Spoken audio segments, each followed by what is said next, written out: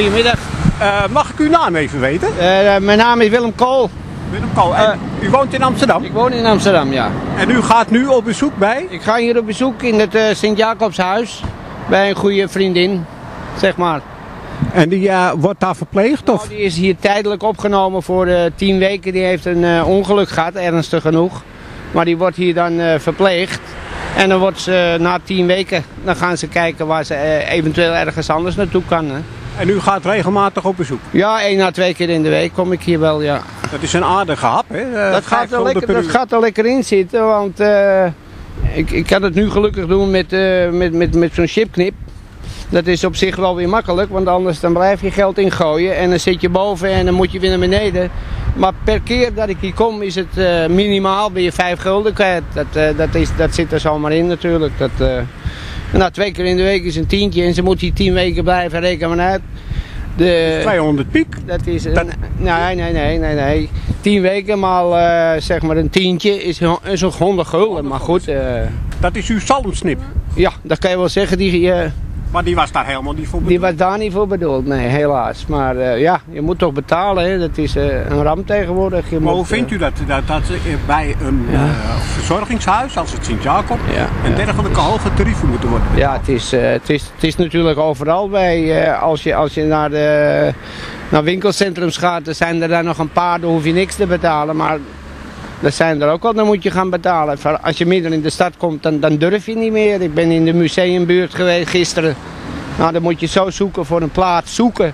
En als je dan je plaats hebt, dan moet je nog een heel stuk lopen, want het is allemaal ingebouwd en ingebouwd. En ja, dat, dat kost je direct een hoop geld natuurlijk. Met de schrik om je hart dat als je terugkomt dat er nog een klem op zit ook, omdat je 10 minuten ver- vertraagd bent. Hè. Dat, eh, Nou, daar is dat gewoon het eh, maatschappelijke verkeer. Maar hier spreekt ja, je komt op ziekenbezoek natuurlijk. Hè, een. Ziekenbezoek en dat is natuurlijk belachelijk. Want ik weet dat er mensen zijn, die mevrouw die erin ligt, die, die, die heeft nu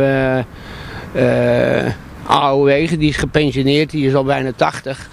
Maar die, eh, die heeft kennissen die enkel een AOW'tje hebben en die zeggen, ja, eh, ik schrijf wel een briefje of ik bel een keer op, maar ik kan niet komen, want dat, dat, eh, het kost me te veel gewoon. Ja, en om je hier naartoe te laten brengen met taxis en dingen, dat, dat, dat is ook geen doen meer. Dat kost ook een hoop. Dat is ook niet meer te betalen vandaag de dag. Dus nee, het is, het, is, het is heel jammer hoor, want er is ruimte genoeg hier. En niet alleen hier, maar de, ik vind bij die, bij die grote ziekenhuizen en, en die verpleegtehuizen, daar moet gewoon ruimte zijn voor mensen die, eh, die op bezoek komen en die, die willen bezoeken. Want eh, er is niks beters voor een patiënt natuurlijk als er eh, bezoek boven komt. En, maar als dat in de papieren gaat lopen, dan wordt het toch een hele moeilijke zaak. Vooral als het een langdurige kwestie is. Ligt iemand twee weken in het ziekenhuis te zeggen, nou ja, twee weken in het ziekenhuis, dat is te doen.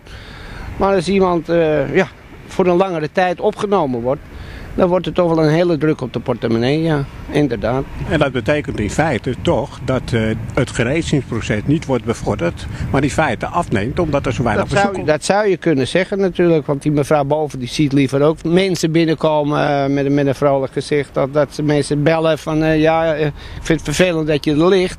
Maar eh, ja, eh, andere keertje, maar die durven misschien niet eens te zeggen dat ze op dat moment even niet die vijf of tien gulden kunnen veroorloven om te parkeren bij zo'n tehuis.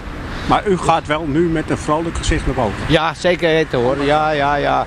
We hebben de salmsnip, dus eh, dan, die kan er weer in. Nou, die ben je dan wel heel gauw kwijt. Die, die gaat op die manier natuurlijk gaat die gauw eh, naar zijn grootje. Maar ja, goed, het zij zo. Het is te hopen dat er nog eens een verbetering in komt in die hele situatie van dat parkeren. Want vooral bij, bij, bij zulke instellingen, hè, dat is eh, heel vervelend dat dat zo, zo moet gaan.